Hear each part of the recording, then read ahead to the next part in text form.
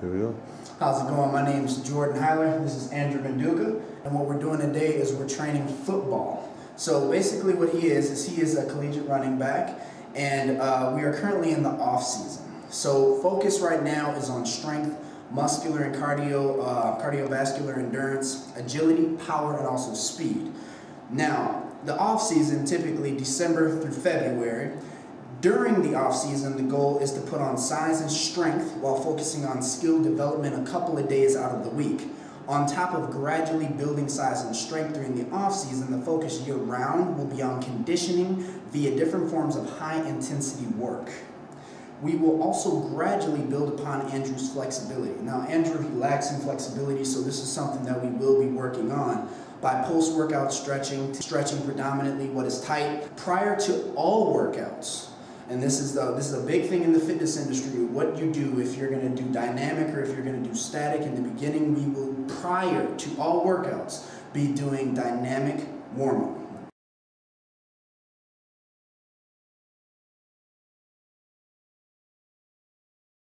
Dynamic warm up, what it does is it prepares the muscles to contract. It gets them warm, it gets them fluid, being able to move. Okay, so that's very, very important in the sport, any sport that you do.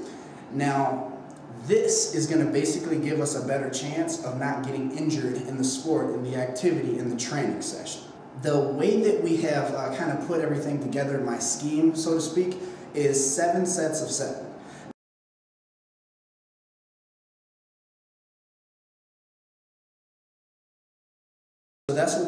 Focusing on for the football effect of giving the strength, the power, whole nine yards. Okay. Now our goal is to always do one more rep, uh, shorten rest, add a movement, change up a movement via tempo, increase the weight load each workout. Sometimes changing up the day, just depends. Keeping the muscle guessing. Keep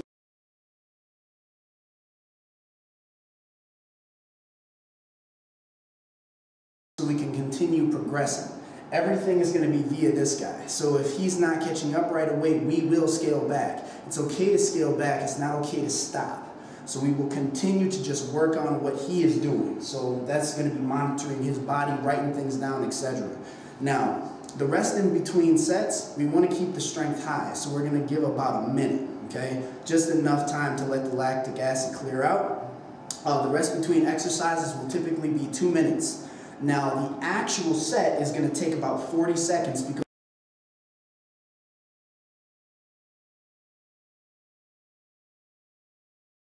we really, really, really want the time under tension to be good enough so he's not jerking anything, everything is fluid, everything is moving perfectly with the body and not going towards injury. On top of that, strength training will be Monday, Wednesday, Friday. Cardio and skills practice, we have that on Tuesday and Thursday. Rest is going to be Saturday and Sunday. The pre-workout is approximately 15 minutes, and that's going to be the dynamic warm-up, and the post-workout is approximately the same thing, 15 to 25.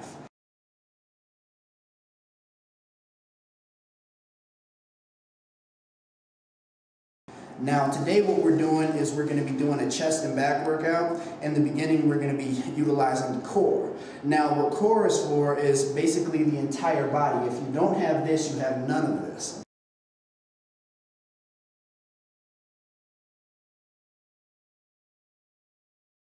All of that is the core. It's important for football because if you don't have a core, someone can easily move you around. Now, let's get it started without further ado. The dynamic warm-up, again, what helps the actual athlete prepare to contract these muscles. That's going to first be the 10 half neck rotations. So what's going to happen is a half neck rotation is exactly that. You're going to stretch right here at the top, cervical spine, and you're just going to come from side to side in a rhythmic manner. Just 10. Hit it. Really stretch. Good. Good. Huh? Five, six, seven, eight, nine, ten. From here, we're going to work our way down. We're going to go to the trap circles now. So just really big circular movement with your traps. Really focus on stretching the shoulder all the way down and all the way towards that ear in a circular fashion.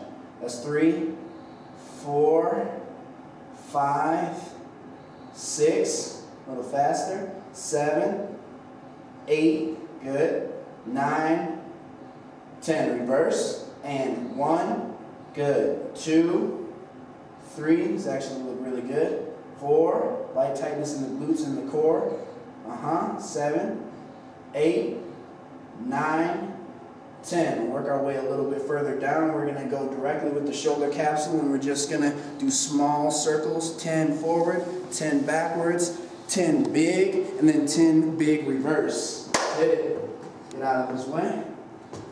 One, two, a little faster. Three, four, five, six, seven, eight, nine, reverse. One, two, three, four, five, six, seven, eight, nine, ten. Get big. One, two, three, four, five, six, seven, eight, nine. Reverse. One, two, three, four, five, six, seven, eight, nine, ten. You feel any chest tightness today? A little bit. Did that help you? Do you feel that you're stretching out? Yeah. It's really important. Now the next thing that I like to do, it, it kind of stretches out the rotator cuffs and also the uh, also the pec major and the pec minor, which is you're going to have one arm up top, the thumb is going to be pointing the way that your arm is, which is up, okay? And then you're going to have one arm down, thumb is going to be pointing that way, which, which is down, and you're just going to cross them right across the chest and then come back. Now let this be rhythmic. Don't let this be robotic. We're not, we're not here. We're here. Nice and easy. Soft knees, core is tight. Okay? You got 10 of those guys. Hit it. One, two, three, four, five, six, seven, eight, nine, 10. Now, exactly reverse that movement. So have this down, this up, exactly. Thumb up, thumb down, come straight across. Perfect, man. One, two, three, four. How's that feel? Good. Five, good. Six, seven, eight, nine, ten. And without further ado, we're going to do some shoulder mobility. Shoulder mobility is exactly that, just to keep the shoulder mobile. So we're here, we want to kind of get it tight. So it's kind of a pull apart movement and then we're coming directly over the head. Now, just for you to understand, the tighter that this is, the harder that this is going to be obviously to get over your head. So if you have real, real tight shoulders, even chest, even back, even shoulders, you want to open this band up just a little bit more so you, obviously you can control that yourself. Just have to listen to your body. Boom, boom. Core is tight, have feet about shoulder width distance, glute is tight, core is tight. We have a neutral spine, neck is in alignment the whole time. Neck is not down, chin is not up, doing none of that. We're nice and rigid and tight. Okay? We're gonna knock out 10 of those, and then we'll be ready to get started shortly here. Good. Super important that we have our shoulders, folks, because without the shoulders, we don't have the back or the chest. Definitely going to have some imbalance. Must make sure that your shoulders are warmed up when you're working your chest and your back. A lot of people don't understand that. It's very important. Now, in terms of ease, how easy is this? Pretty easy. All right, tighten it up. That's why I like the resistance bands. You're in control. Ready? Hit it. Feel the difference now. Oh yeah. All right, let's get 10. One, two, three, four. You're simultaneously working them. Five, six, seven, eight, nine, and 10. Beautiful work, Andrew. Now, the next thing that we're going to do, since we have our shoulders and pretty much everything and our upper part of our body warmed up, is we're going to also get the scapula in order here. So first thing I want to do is I want to make sure that the shoulders are directly over the hands. Then we want to take one leg back, squeeze it as tight as possible, next leg back, squeeze as tight, as tight as possible. Then we're gonna squeeze the glute, okay? This is called a stiff arm plank. Now my neck is in alignment, everything is neutral. From here, we're just gonna drop down with no bend in the elbow and come straight up. This is only the scapula moving. You really wanna focus on that. We're gonna do six of these, and then immediately we're gonna progress right into a push-up. Okay? Now, I want you to do six and six. Six and six. Hold it directly over the hand. Nice. Leg back as tight as it will go. Next leg back as tight as it will go. Core tight. Right there. Now, I want you to purely move your scapula. We're to protract and then retract. Good. One, two, keep up. Three, watch the bend in these elbows. Four, five, six, and now go right into a push-up. One, two, keep that core tight, tighter, there you go, good. Give me one more. Good work. Now, we're ready to actually get into the workout. Now, for today, we're gonna hit the core first. Just like I told you folks, the core is literally the nucleus of the entire body. You need it to move everything. So first, what we're gonna do is we're gonna hit a plank. So with that, you're gonna grab you a mat. You don't need the entire body on the mat at all. Just need the elbows, forearms, and the hands secure and comfortable. We're gonna be here for a while. so what's gonna happen here is I always like to start out like a baby. You don't just jump into this movement. So the shoulders are right over the elbows. Hands are in alignment. I like to have them in a neutral hand position. The core is tight. Leg back, leg back, and then squeeze. Now, why do I do that? The reason why is because I want every single muscle individually to contract as hard as possible. Now, if I can do that, then I can hold a real plank. If not, then something's gonna be loose and it's not a real plank. Okay? That makes sense? Pop down. All right. Shoulders directly over the elbows. Hands are in alignment with one another. Core is nice and tight. Okay? Leg back one at a time. Squeeze the glute as hard as possible. Come down a little bit. More. There. Stay nice and tight. Legs tight. Good. We're going to hold this. For sake of the video today, only 30 seconds, I would have him typically go for as long as he possibly can. Doing great. Now what I want you to do is I want you to start breathing through your diaphragm. It's called diaphragmatic breathing. Now when you do that, you're simply going to breathe through your stomach muscles like you're going to sing. Okay? You're going to stretch out your abdominal and then you're going to squeeze it as tight as possible while you're in this movement. Now, if that's not hard enough, another thing that you can do to apply more pressure to the core is pulling your elbows back as hard as possible. That's another movement that's just going to kill you. Okay? Now, the next thing that we're going to progress into is we're going to go for the reverse crunch. Now, the reverse crunch, the most important thing to me is that there's no slack here in the back. I want the back nice and flat. Okay?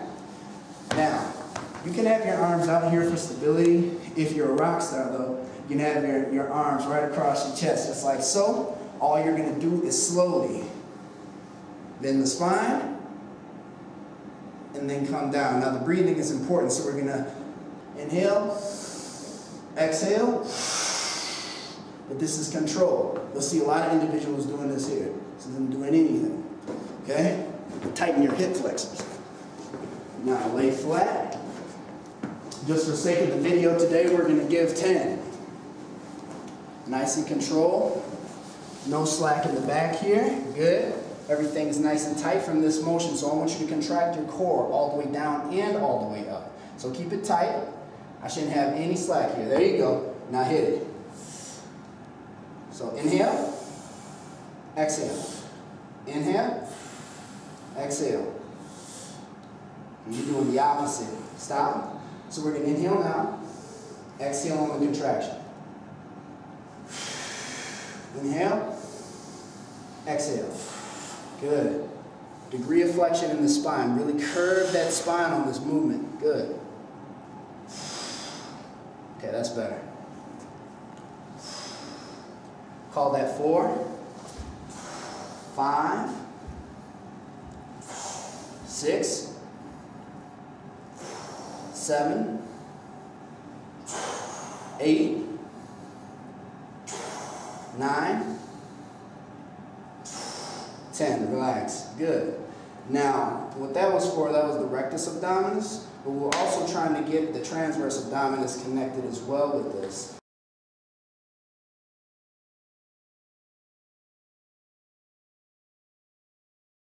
Now the EMG machine, which it actually shows us that this movement is going to hit the lower abs a little bit more, but sometimes it also gets those hip flexors in action. So at the end of the workout, we would also do a stretch that would stretch out the hip flexors. It's very good for football players for the simple reason that everything that we're working with the core is going to come full surface and you're going to feel it in every movement that we do.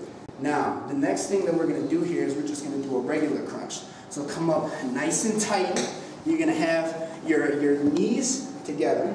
I want your knees together, feet on the ground. Now from here, I want you to open your legs as wide as possible and make a diamond. What this is going to do is it's going to shut off your hip flexors, and all you want to do is come straight up, okay? So that movement, without, without the knees out like this, it's going to be this. Inhale, exhale. Keep in a neutral spine. I don't want you to drag your neck either which way. Neutral spine.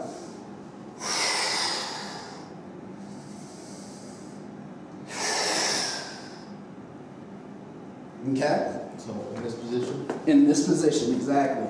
This is shutting off those hip flexors. One of Vince Gironda's favorite movements to shut them down. Good. I want you to really feel that contraction. Let's hold it two seconds at the top. So let that air out. Exactly. Inhale here, and then exhale all the way through that movement. Then come down. Tap, and then come back up. Inhale, exhale. It's too choppy, too choppy. See how your knees are trying to flush in together? Think like Bruce Lee said, everything is like water. Your body's like water. This is not a choppy type of a movement. Let's get five more. Keep those knees out and feet together. Hmm? Good. Keep it up. One more. That was a little choppy. Let's try that again. Rest. Good. Now, we've got, we've got the transverse abdominis locked out. We've got the rectus abdominis locked out. Next thing that we're going to do is we're going to hit the internal obliques. So for the internal obliques, what I like to do, some people call it a bridge, some people call it a side plank. All you're gonna do is lay on your side like you're about to watch Bobby's World or something like that. Squeeze your glutes. Make sure that your feet are in a line with one another. And all you're gonna do is raise your hips off the ground. It's also very important here that you have your shoulder directly over the elbow. And we're going to hold this, breathing naturally. So the next exercise we have here is going to be the flat bench press. We're utilizing what is called the Smith machine. Now the Smith machine is good for a whole lot of reasons. Number one, you don't really have to use your stabilizers as much, so an individual can really actually focus on the chest a ton more. Another thing is, you don't need a whole lot of weight for this exercise. You want to make sure this exercise is right for you. Now in the NFL, they do something called the 225 bench press test, and this is what this is leading towards. We want to make sure that we have a lot of muscular strength and a lot of muscular endurance. Coaches, they, they almost don't look at this one as a big thing in football. They look at it as a standard in football. So we're going to start with something light, okay, just to show y'all form. Form is the most important thing possible. We want to make sure that the wrist we're having everything nice and even. Hand and wrist, they are even. Also want to make sure that the elbows are not internally or externally rotated. We want to make sure that these elbows are aligned with the actual force that's actually coming through the body, okay? Another thing we want to focus on here is we want to bring the elbows to where it's even with the back.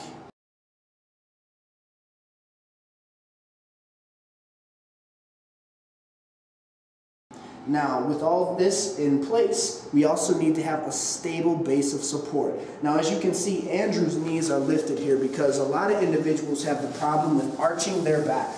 Now, if you arch your back, guess what? You get to cheat with your triceps and everything else. Your whole body gets into this movement. That's more so for a power lifter, individual who is literally in the Olympics, going into powerlifting, individual on a strongman test. This right here is purely for form, very, very strategic for building the chest up powerfully and strong, okay? And also putting size on it.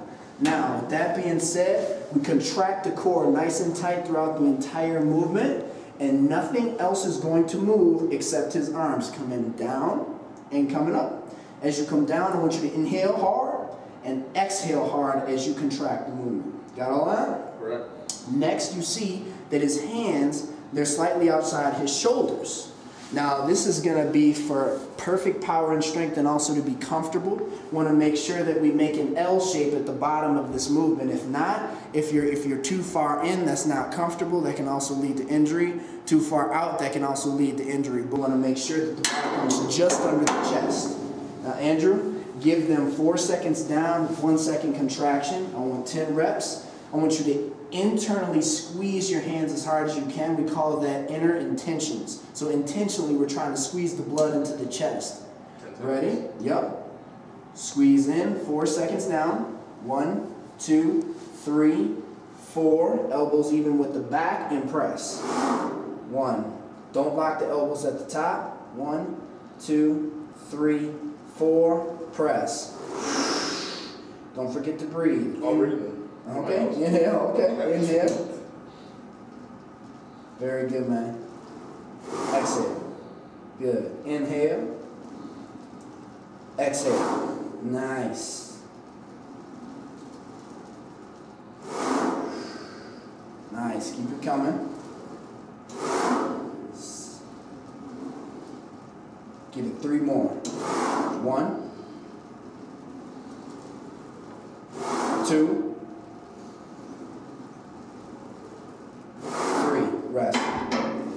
So this is obviously pretty easy for Andrew. That's called a warm-up set. It's something that you want to do to really get into the heavy repetitions, get your muscles understanding what's going to happen, okay? We're going to get these weights up. We know that Andrew can handle it. We're going to slowly go up though.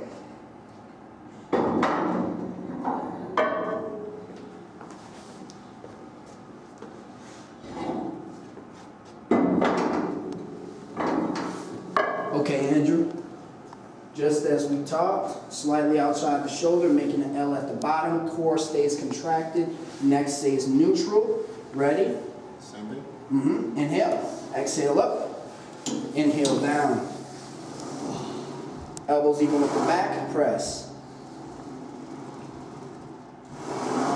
Now I'm going to teach y'all something here.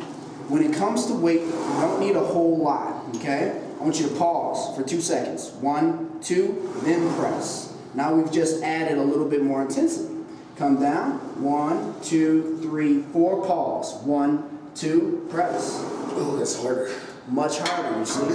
So individuals, before you actually increase the actual load, the weight of the movement, what you're going to do is you're going to try different techniques such as that. Pause one side, pause to the next, pause to the next, and then pause coming back down. Okay? That's going to really, really help you get really strong, and also your joints are going to love you for it. Okay? This is really for the long run. We want to keep this guy in the business a long time. Now, let's try it one more time, okay? This time, I'm going to ask for three reps, then I'm going to take these guys off, and then I'm going to help you continue through the motion, okay? Ready? And exhale up. All right, inhale now. Two, three, four. Pause. One, two, press. Inhale. One, two, three, four. One, two, press. Good. That's two. We got three, right? One, two, three, four. Pause. One, two, press. Set back. Good. Now we're going to continue. This is called a drop set.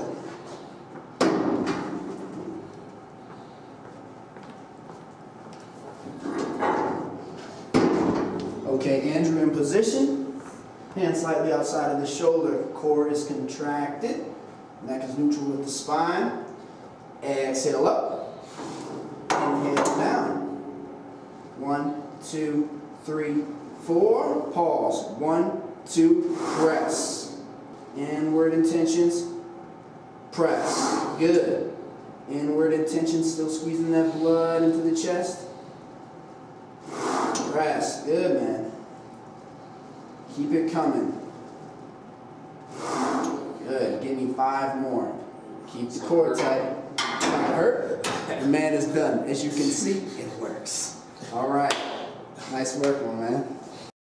Okay, so the next movement here is going to be the incline dumbbell bench press. Now, just like at the Smith machine, we took away most of the stabilizers. Now we're going to add them back, okay? And what's going to happen here is we're just going to do a pressing movement. We're trying to hit the upper chest here, so we actually want to have the elbows closer to the shoulder or even with it, okay? So I want you to bring the dumbbells back. Mm -hmm. Yep, both of them. Make sure that the core stays contracted the entire way. That's why his feet are propped up. So he can definitely make sure the core stays very contracted and the back is flat. And all you're going to do is press. Stay outside the shoulder. Boom, right there. Boom. So we're going to inhale, down, exhale up. Inhale down, exhale up. Good. And what I'm looking for is to make sure that the elbow and the shoulder, we don't do any internal or external rotation at all here. And why we come in, not so far, but why we come in, go ahead, keep coming. Why we come in is the chest is also an adductor, okay? So you want to adduct, boom, and that's going to finish that movement. Down big, squeeze, even with the back, and then press even with the back, and press. Give it five more. And to check his core. Very good. So nice and tight. No movement here, anywhere in the body. He's rigid. How you feeling, Andrew? That's what I thought. Nice movement, nice movement. All right, folks, for the sake of the video, we're going to actually move on now. Yeah, just starting out light, but what you want to do, just like we said, that scheme of seven times seven. So seven sets of seven reps. For the video, we're just starting light just to show you the movement, make sure our form is tight, okay? Doing good, Andrew? Need a drink, you good? No, I'm good. All right, let's move on to the next good. movement. Now, the next movement, what we're doing here is we're going to be doing a body weight dip, just with a machine, just for some extra help if you need it, okay? Now, the first thing that we want to do here, since we're working chest, but we're also transitioning into back, is we want to keep our chin down, okay, as we do this entire movement, and also kind of bend the spine as much as possible. We want to keep this on the chest. So when we come down, our elbows are going to be pointed directly out. We're going to stretch the chest and then contract the chest all the way through this movement. Just like all of these movements, this is helpful with your pressing. Every time that you come through this movement, it needs to be powerful. We want to focus on power and control. So four seconds down, one second powerfully coming up. Okay? Keep your core contracted the entire time. Legs are rigid. Only thing that moves is the arms, but you're going to feel this through your entire body. Okay? Ready? Step out of the way and begin. One, two, three, contract. A little harder than that, but in control. Hard. Good. Boom. Pretend you're pushing someone out of your way. Pushing away from the floor, away from the earth. Yes. Don't move the up, don't move the lower body. Good. Seven. Ooh. Looks like he's beat up a little, folks. How you feeling, Mister? Feeling pretty weak. All right, all right. So moving on to the next movement. As you can see, this is a very taxing. We're going to go into the back. Transition time. Ready? Mm -hmm. All right, man. All right, so the next movement is going to be a one-arm dumbbell row. Now, many people, you see many people in the gym doing this improperly, so we're going to show you how to do it properly today, okay? First thing is, you want to have your knee on this bench And with the knee, you want to make sure that your ankle or your heel is actually even with your knee. Now, depending upon how wide you are, how wide your build, how wide your hips are, is going to depend on how wide you actually get with your legs, okay? Now, here on the upper side of the body, and also notice, I want the camera to pan on the side here, notice that my knee and my hip are almost perfectly aligned. If anything, we can come a little bit further forward, but we can never sit into the hips. This is called resting, okay? We want to have the knee in alignment or slightly beyond that with the hip. Then from the hand position, what we're going to do is we want to stack up the joint. So the shoulder and the hand are in alignment. Then we also want to make sure our core is nice and tight, and we also want to make sure also that we have a neutral spine. So we want to get the back as flat as humanly possible, and then the hand is going to be, the other hand that you're actually pulling with is going to be even with the stabilizing arm.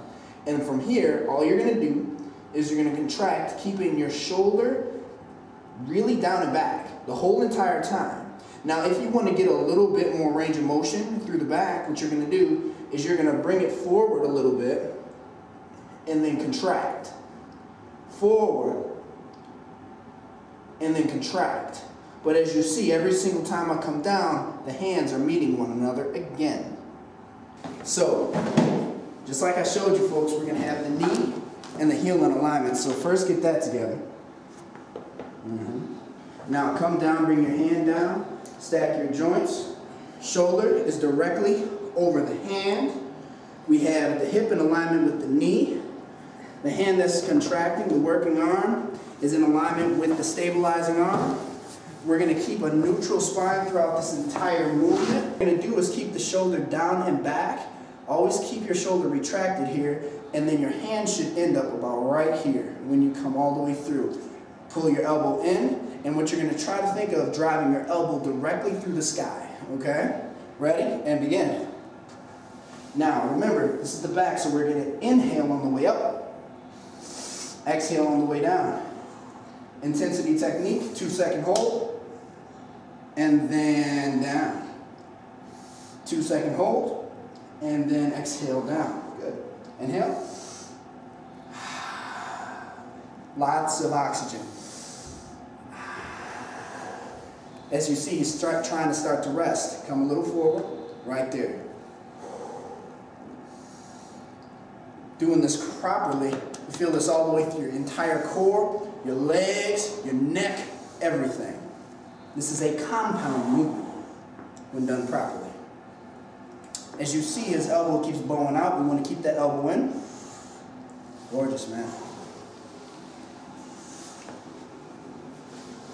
Good. Getting weak there. Keep it tight. Yeah, buddy. Neutral spine. Stay nice and tight. You're resting. Forward. You give it one more. I know he's tired. He's fatiguing. And rest. Good job, man. Again, seven sets of seven reps. How you feeling, man? Alright. What did you learn about yourself in this movement? I want you to just be honest. Be honest. Honestly, I, I thought I was the strongest guy alive, man, and thought my body looked great. But after going through this workout and some of the different things that I've never seen before, I'm actually excited, kind of sad, and the reason being is, sad part is I thought I knew what I was doing, which has worked for me for a very long time. But not only did I realize today that I was doing it all improperly, but I also know some imbalances within myself as well. So definitely this workout has brought out my weaknesses and where I need to improve on. So.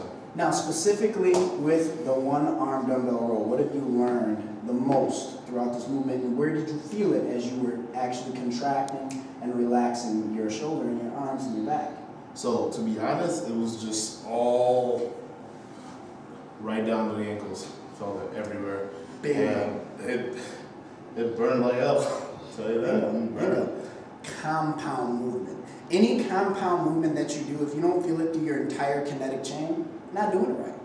Purely and simple, you're not doing it right. All right, so the next movement here is gonna be a pull-up, okay? We're doing seven sets of seven reps. Now, why this is really good, we got a vertical movement, We've been doing horizontal. We have to make sure the body's balanced. Okay? All right, so what we're going to do here, folks, is we have the Gravitron to help Andrew out a little bit. And all we're going to do is we're going to get into this movement. This is the pull-up. What you're going to do here, Andrew, is you're going to put your hands on the bar, slightly outside of the shoulder, as you can tell. But at the top, you want to contract it about 90 degrees. So we're still making that L shape. Another thing we want to keep tight is the core.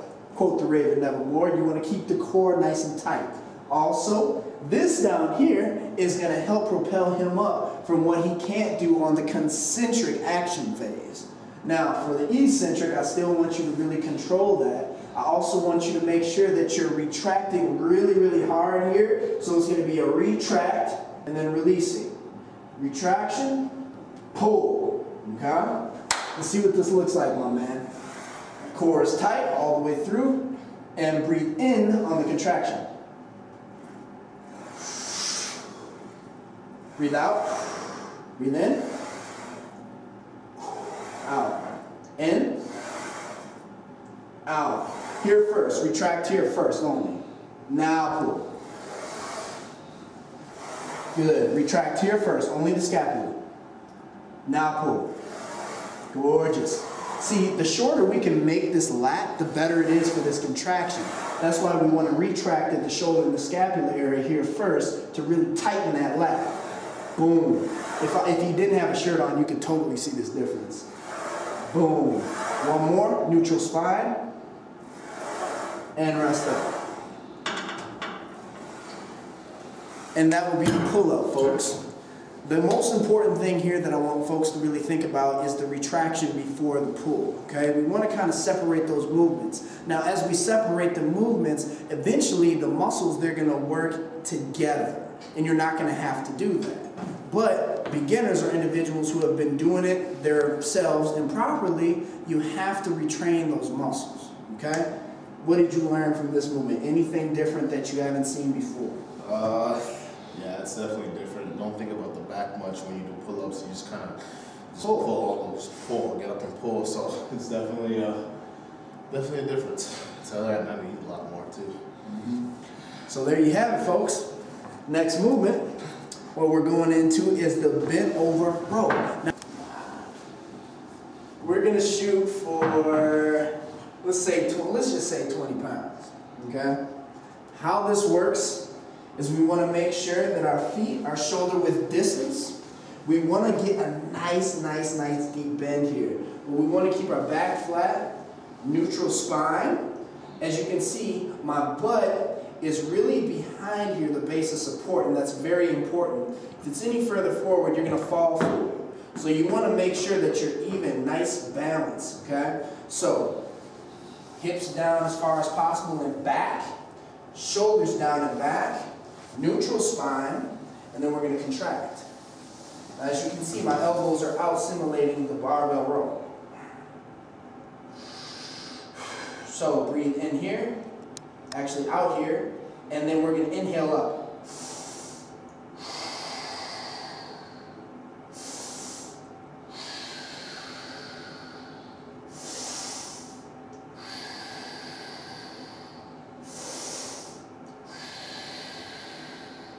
Stand on the heels the entire time.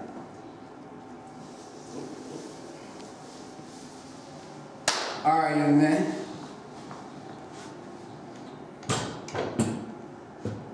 Now, Andrew's hamstrings are pretty tight. So Andrew, I just want you to simply get as low as you possibly can. We call that the available range of motion. That changes all the time. Now, flat back, we're perfect here. Again, we're gonna use our ruler tool just to make sure we're straight here. Boom. Soft knees, hips are back, behind the base of support, feet, shoulder width distance, bring them in. Feet, bring those feet in. Good. Now, we don't want pigeon toes. Slightly out. Slightly in from there. Right here. Now, what you want to do is you want to get as low as you possibly can, keeping the neutral spine. So if you can go lower, do so with the hips and the back. Boom. Little up, right there. Now from here, all I want you to do, elbows out, I want you to contract. I want you to contract through the core the whole time. Breathe in, out. Breathe in, out. Gorgeous.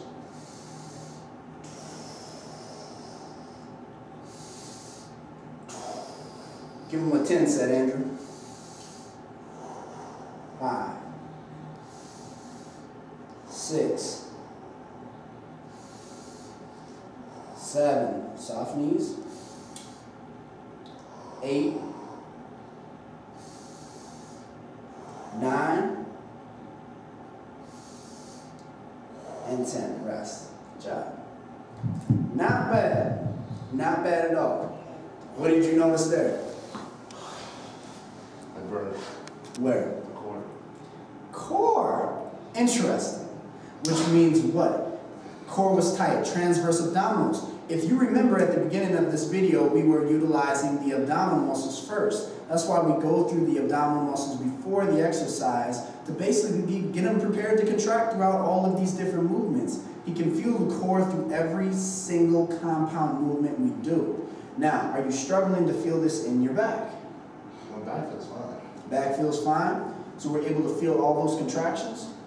Perfect, nothing more said. If he didn't, what he could do is he could hold up a lot longer to really push the blood into the back. The back's a humongous, humongous muscle. So doing two, three, four, five second pauses at the top, we call that an iso or an isometric pause. You can do that just to feel your back, okay?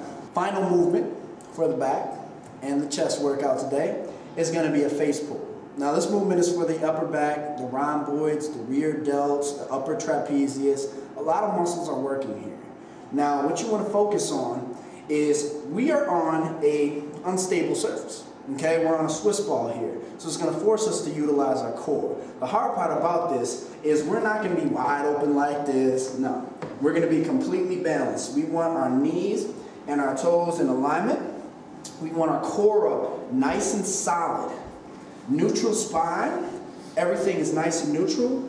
Elbows are up, but we have our traps down. We do not have them up here by our ears because that's elongating our lat. We don't want that. We want to shorten our lat. and then we want to pull directly towards our face without moving anything else but the arms here. Breathe in.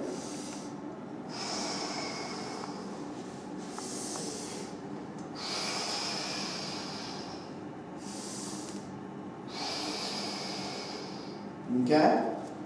Now we're going to start them off with green, just a little bit lighter. He is fatigued. And then we're going to move up and weight if we need. Give me a double chin. Back. There you go.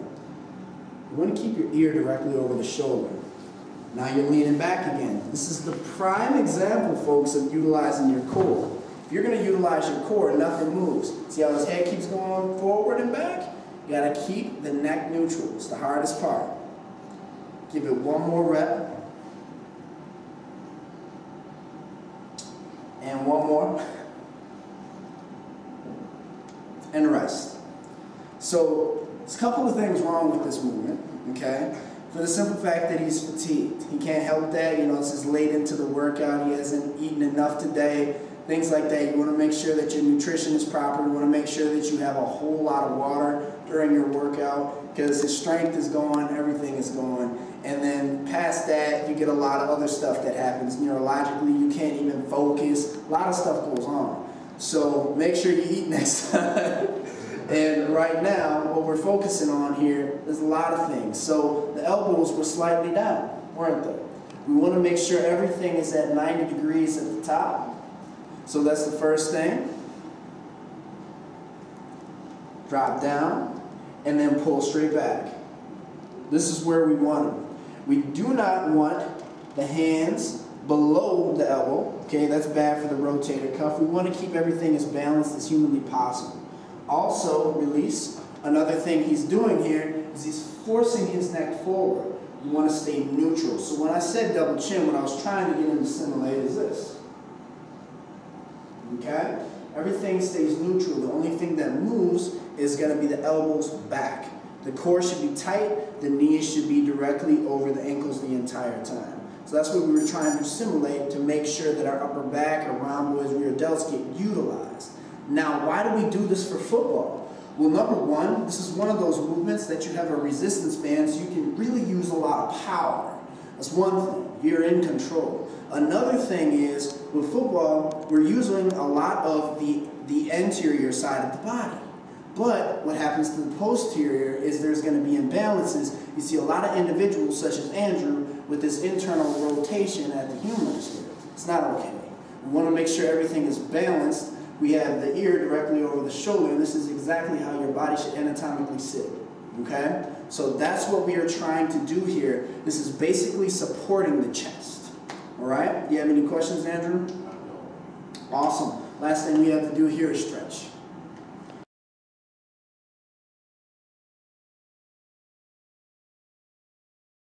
Okay, so the last thing we're doing here, folks, is we're just going to stretch out, stretch out the back and the chest simultaneously.